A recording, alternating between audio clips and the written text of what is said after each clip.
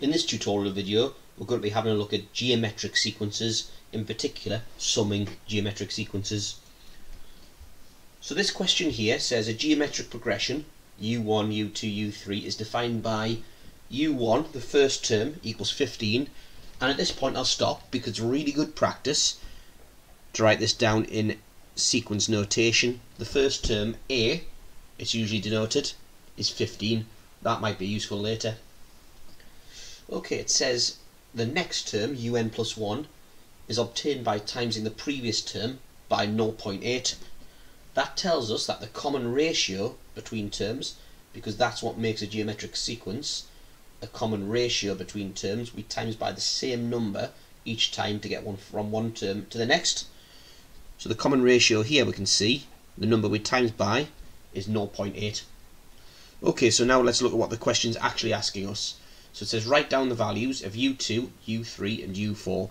Well, we've got u1 equals 15. So u2 is obtained by timesing that by 0.8, which gets us 12.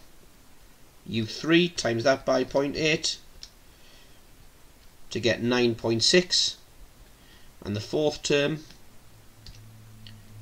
times it by 0.8 again which gives us 7.68 so there's part 1 done part 2 find the sum of all of the terms from the first term to the 20th i.e. find S20 so this is where we need to consult our formula sheet so the formula sheet tells us three formulae about sequences, geometric sequences.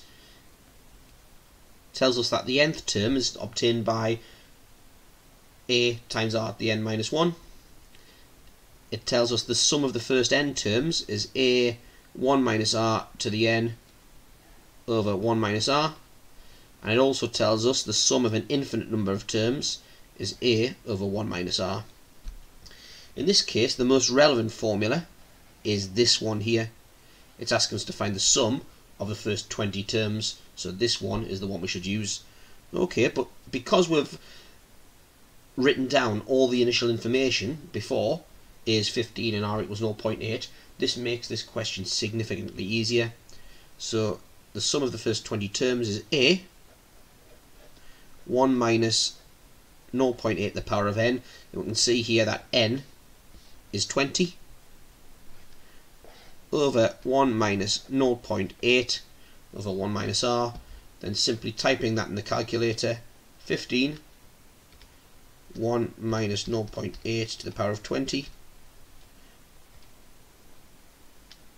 over 1 minus 0.8 equals 74.1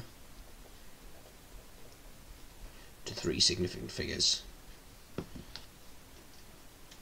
For more videos like this, please go to alevelmathsrevision.com.